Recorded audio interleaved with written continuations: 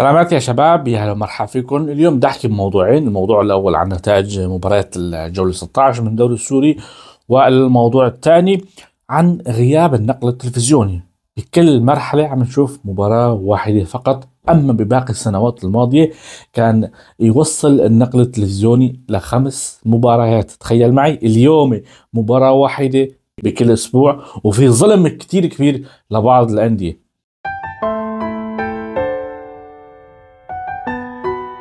وبشكل سريع نحكي على مباريات الدوري السوري للمرحلة 16 وبصراحة كان فيها مفاجآت وكان فيها أهداف وكان فيها ركلات جزاء وحالات طرد ويعني أسبوع كان مثير للغاية.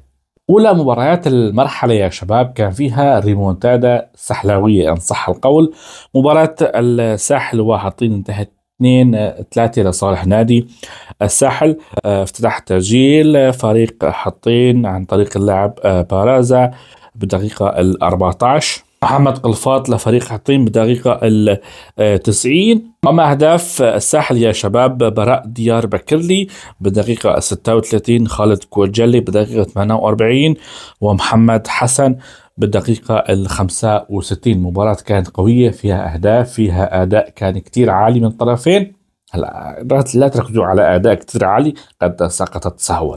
هارد لك لحطين ومبروك للساحل. أما المباراة الثانية يا شباب كمان فيها ريمونتادا لصالح الزعيم. خسارة الحرية على أرضه وبين جمهوره 2 3 أمام آه الجيش.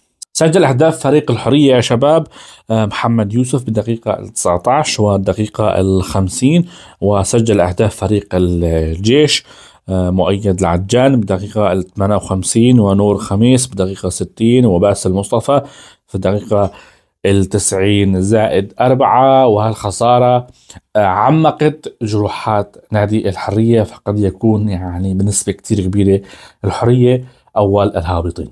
مبروك للزعيم بعد فوزه اليوم على الحرية. بصراحة عمل ريمونتادا يعني عمل كل شيء لبين ما رجع للمباراة. مباراة جبلة وضيفه نادي الوسبة انتهت صفر صفر. مباراة الوحدة والطليعة انتهت 3-0 لصالح نادي الوحدة. ماهر دعبول من ركلة جزاء بالدقيقة العاشرة. أنس بوطة بالدقيقة 14 ويحيى الكرك بالدقيقة ال 55 مبروك للوحدة الفوز الثالث بهذا الموسم. وهارد لك لفريق الطليعة المحير. ما فيني أحكي أكثر من هيك بصراحة. فريق محير بكل مرحلة بتشوفه شكل. وأما المباراة الأخيرة يا شباب آه الكرامة الأهلي تعادلوا 2 2 سجل أهداف الأهلي أنس دهان بالدقيقه ال 11 وشاردراك شارد شاردك اسمه ما بيطلع معي شاردراك بالدقيقه ال 55 وانطرد. تخيل معي محترف ينطرد يا شباب. سجل أهداف فريق الكرامة يا شباب مازن عمارة بالدقيقة ال 16 وإبراهيم العبد الله بالدقيقة ال 29 من ركله جزاء. فاذا هدول مباريات الأسبوع ال 16 يا شباب مباراة الفتوة وضيفه نادي تشرين يوم السبت بتاريخ 9 3 2024 خلينا نشوف كيف صار. سلم الترتيب وبنرجع الفتوة ناقص مباراة بالمركز الأول برصيد 36 نقطة فريق حطين بالمركز الثاني برصيد 29 نقطة فريق جبلة بالمركز الثالث برصيد 28 نقطة فريق تشرين. كمان ناقص مباراة بالمركز الرابع برصيد 28 نقطة. فريق الجيش بالمركز الخامس برصيد 23 نقطة. في المركز السادس فريق الأهلي برصيد كمان 23 نقطة. الكرامة بالمركز السابع برصيد 20 نقطة. الطليعة بالمركز الخامس برصيد 20 نقطة. الوسبة بالمركز التاسع برصيد 19 نقطة. مركز العاشر لنادي الوحدة 14 نقطة. مركز ال 11 لنادي الساحل ب 12 نقطة. والمركز الأخير ال 12 لنادي الحرية بسبع نقاط. هدول نتائج وسلم الترتيب يا شباب.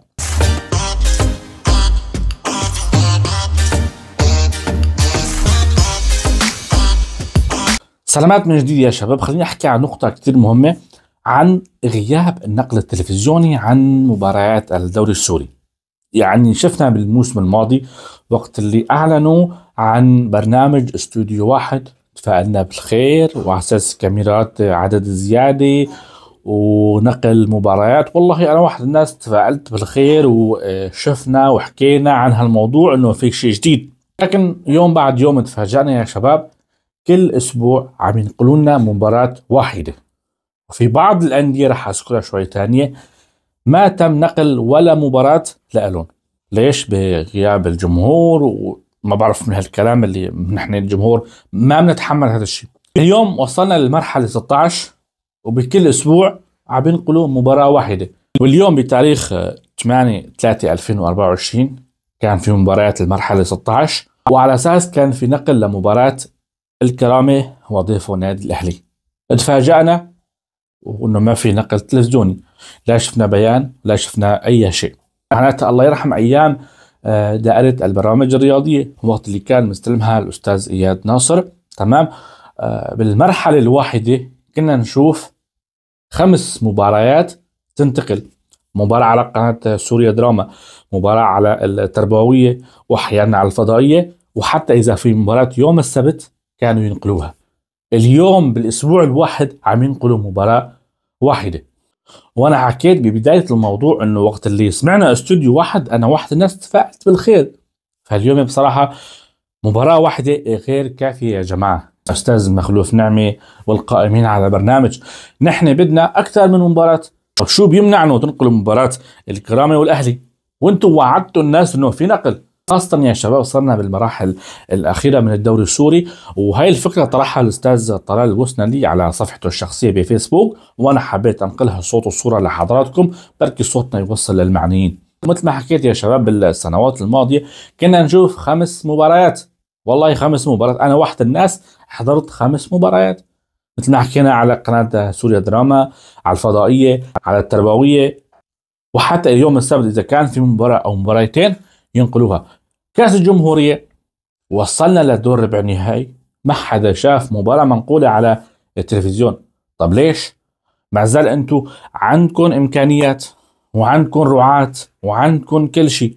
معناته الخطأ على مين؟ خطأ إداري بحت وليس بالأموال. اليوم في رعاة لكم لبرنامج استوديوهات في رعاة وعم يندفع مصاري بس يعني المصاري عم تندفع بمكان مو مناسب. وكمان أزيدك من الشعر بيت. بالسنوات الماضية كان في عدالة بالنقل التلفزيوني. كل الأندية بدوري الممتاز كان ينقلوا مبارياتهم على أرضهم وبين جمهورهم. اليوم ما في عدالة. اليوم بتشوف النادي الواحد آه، بث له خمس ست مباريات ورا بعض. طب شو مشان باقي الأندية؟ اليوم نادي أهلي حلب. لعب على أرضه وبين جمهوره. مع الأسف ما كان في جمهور. ما تم نقل ولا مباراة لفريق الأهلي. طب ليش؟ قال بسبب إنه آه، ما في جمهور. طب أنت عامل آه، بث مباشر للمباراة كرمال الجمهور كرمال الناس اللي عم يتابعوا من خارج سوريا. اليوم يعني ما في عدل ما في عدل بالنقل التلفزيوني. ومثل ما حكيت من شوية يا شباب كان في نقل وفي عدالة ولكل الأندية بعدين في مرحلة الاياب كانوا ينقلوا المباريات الحساسة اللي فيها جماهيرية اللي فيها مثلا على الصدارة أو على الهبوط. والله كنا نشوف مباريات للفرق اللي عم تنافس على الهبوط. كنت تشوف مباريات منقولة. اليوم وين؟ إيه ما شفنا مباراة منقولة للحرية ولا للساحل؟ لا لا لا في مشكلة يا جماعة. بتمنى تداركوا الأمور يعني. صح الناس ساكتين بس إنه قليل جدا عم يتفرجوا على التلفزيون السوري هسه كله على صدى إف إم. ارحموها الناس. يعني مثل ما بقول لك المثل فوق الموت عصة قبر. ليش؟ يعني خلقها هي يا دوبك عم نشوف اللاعبين. فارحموا عقول الناس. الناس واعية بتفهم كرة قدم وبتعرف زيد بن عبيد يا شباب. هذا فيديو اليوم. إن شاء الله إن شاء الله صوتنا يوصل للمعنيين. ضلوا بخير والسلام عليكم ورحمة الله.